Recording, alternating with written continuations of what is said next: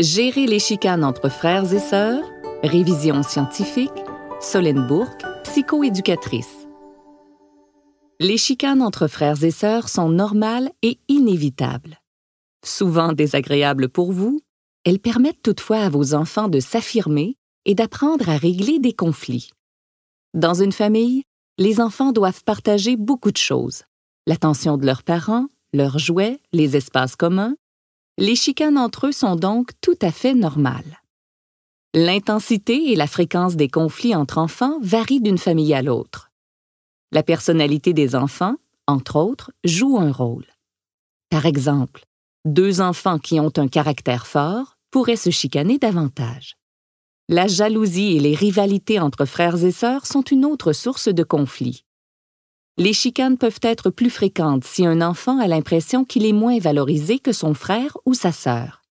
Par ailleurs, plus les enfants sont rapprochés en âge, plus leurs besoins d'attention et leurs intérêts sont semblables. Comme ils veulent souvent la même chose, ils risquent de se chicaner plus souvent. Avant cinq ans, les petites chicanes liées à la possession, c'est à moi, c'est mon tour, sont une cause courante de conflits. À cet âge, les enfants ne comprennent pas bien la notion de partage. Les disputes peuvent aussi être un moyen de laisser sortir le stress. Un enfant peut alors prendre son frère ou sa sœur comme cible parce qu'il ne sait pas encore comment bien gérer ses émotions. Quand intervenir? Il est préférable de ne pas intervenir trop vite quand vos enfants se chicanent. Chercher une solution au conflit permet aux enfants de développer des habiletés, comme l'autonomie et la créativité. Même les tout petits qui ne parlent pas encore beaucoup peuvent y arriver si vous leur en laissez l'occasion. Quand ils ne réussissent pas à régler leurs conflits, vous pouvez les aider. Voici ce que vous pouvez faire. Déterminez d'abord le sujet de la chicane. Demandez ensuite à vos enfants de mettre des mots sur ce qu'ils ressentent. Écoutez les opinions et les attentes de chacun, puis les résumez.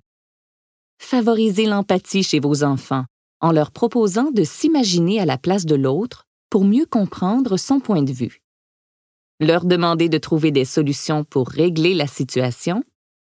Leur suggérer, au besoin, des pistes de solutions tout en leur laissant le choix final.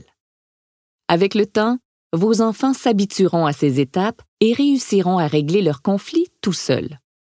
Par contre, il faut intervenir dès qu'un enfant a des paroles blessantes ou des gestes violents les enfants doivent comprendre que ce n'est pas permis de donner des coups, de mordre ou de manquer de respect à l'autre.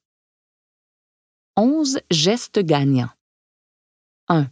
Établir des règles claires à la maison. Expliquez à vos enfants quels comportements sont permis et lesquels sont interdits. 2. Encouragez vos enfants à dire avec des mots ce qu'ils n'acceptent pas et à demander votre aide au lieu de crier ou de frapper. 3 rassurez chaque enfant sur la place qu'il occupe dans votre vie, dire à chacun que vous l'aimez et que vous êtes là pour lui. Ne pas hésiter à le répéter souvent. 4. Passez des moments seuls avec chaque enfant. Cela diminue les disputes pour obtenir votre attention. 5. Essayez d'être le plus équitable possible dans l'attention que vous donnez à vos enfants. Vous pouvez leur expliquer que vous leur accordez de l'attention à tour de rôle, selon les besoins de chacun. 6. Valorisez les forces de chacun de vos enfants. Évitez de les comparer en disant, par exemple, Ton frère est plus sage. Mettre plutôt en valeur les points forts de chacun.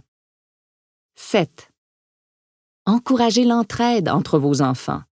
Évitez de rendre l'aîné responsable du plus jeune il est préférable de les inciter à s'aider ou à s'encourager lorsque l'autre vit une difficulté. 8. Offrir à chaque enfant un endroit à lui. Même si vos enfants partagent une chambre, chacun devrait avoir son espace pour dormir, ranger ses affaires et jouer seul s'il en ressent le besoin. 9.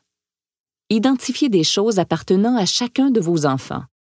Vous pourriez, par exemple, faire un bac de jouets commun et des bacs de jouets individuels.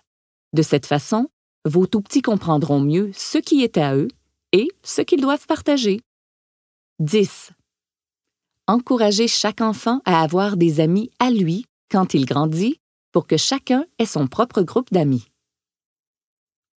11. Donnez l'exemple. Vos enfants apprennent en vous imitant. Il faut donc tenter de régler vos désaccords et vos conflits avec votre partenaire ou vos enfants dans le calme.